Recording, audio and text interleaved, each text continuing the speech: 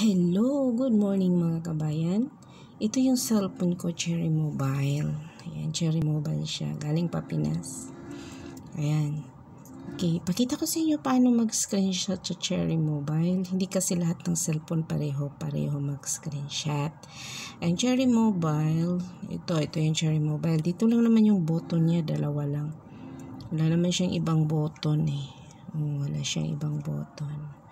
Ayan, ito. Ang model nito, hindi ko alam anong model ito. So, ito yung Cherry Mobile. Ayan.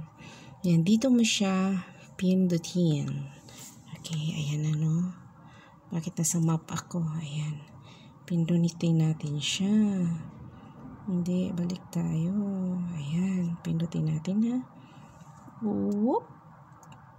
Okay. Tapos dito. Ayun. So, tingnan natin sa gallery. Nandun na yun. Sa gallery. Ayan. Ayan. Yan yung pinipindot natin. Ayan. Ayan, nakita mo? Ayan yung pinipindot natin sa cherry, sa screenshot natin. Ayan, dito lang. Dito lang siya. Yan, dito lang mo pindutin. Dalawa, ipagsabay mo siya. Sabayin mo sa pagpindot. Ayan. Ito yung cherry. Uh, yan lang mga kabayan, sinishare ko lang sa inyo kung paano mag-screenshot sa Cherry Mobile. Uh, check it. Bye-bye!